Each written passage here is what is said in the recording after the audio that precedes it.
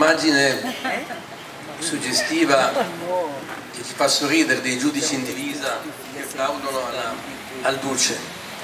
Però ehm, quando ehm, Armando ha concluso dicendo ma questa era l'idea dell'unità del potere, dell'unicità del potere, se noi vogliamo avere speranze per il futuro dovremmo forse brevemente uscire anche dalla considerazione del solo rapporto con la magistratura, perché questa unitarietà eh, oscena del potere ha altre manifestazioni in questo momento, questo non possiamo nascondercelo.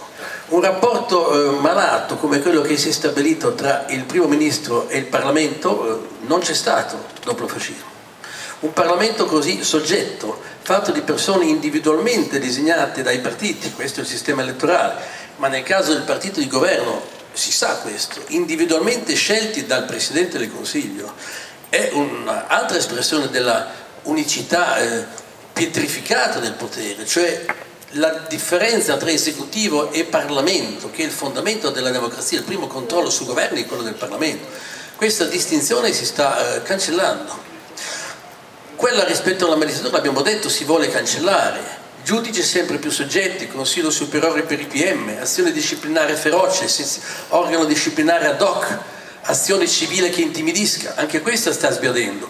Non solo, la distinzione tra l'esecutivo e il quarto potere, la stampa.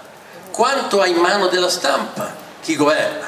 Quanto ha in mano, cosa che non si sa, della pubblicità sulla quale la stampa vive? Moltissimo, Publitalia e altre società quanto in mano della televisione propria e quanto in mano delle televisioni pubbliche. Allora questa, vedete che diventa davvero, non credo un'immagine drammatica quella che ho dato al principio, siamo sull'oro di un abisso, si sta affermando una concezione unitaria del potere che in condizioni storiche diverse certamente, però assomiglia all'esperienza che abbiamo passato con il ventennio fascista.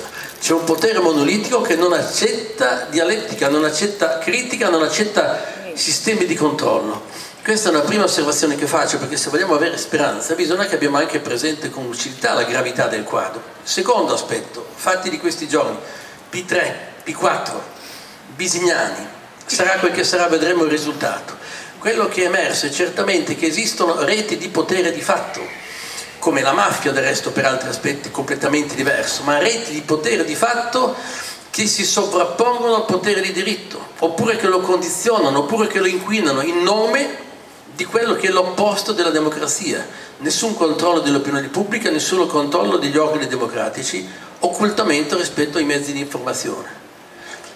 Terza domanda che faccio, lo dico molto pacatamente, ma bisogna pure dirlo questo. Una parte di tutto questo era nei disegni della P2, era scritto questo e lo sapevamo benissimo.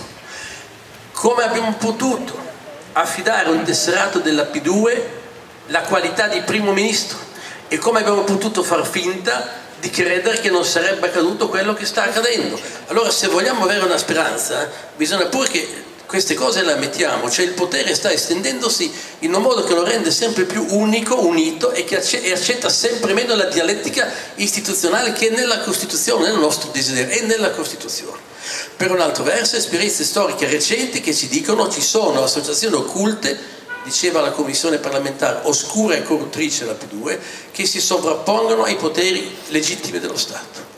Ultimo, ma non ultimo nell'importanza, ci sono uomini che rappresentano direttamente, fisicamente, perché vi hanno appartenuto queste associazioni oscure e corruttrici.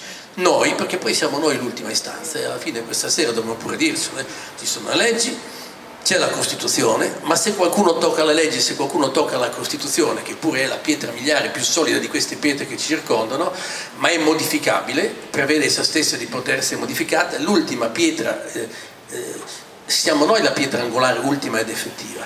Allora credo che queste cose dobbiamo intanto ricordarle e se vogliamo avere speranza, avere il coraggio di ammettere che abbiamo molto accettato, molto tollerato e anche molto elogiato la demagogia, l'arroganza e, e, e la negazione della struttura della Costituzione.